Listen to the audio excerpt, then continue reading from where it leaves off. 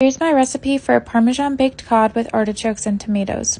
In a bowl, start by mixing chopped artichoke hearts, non-fat Greek yogurt, a quarter cup of shredded mozzarella, three minced garlic cloves, a quarter cup of mayonnaise, two chopped tomatoes, a teaspoon of salt, pepper, and garlic powder, and half a cup of freshly grated Parmesan cheese. In a baking dish that comes with a lid, add a drizzle of olive oil to the bottom and add the cod. I'm using just under a pound of cod here. Season with salt, pepper, then add the tomato artichoke mixture and top with half a cup of freshly grated Parmesan cheese. Bake this in the oven at 400 for 20 minutes, and then remove the lid and broil on high for 5 minutes. I garnished it with basil leaves and freshly cracked pepper, and then it's ready to serve.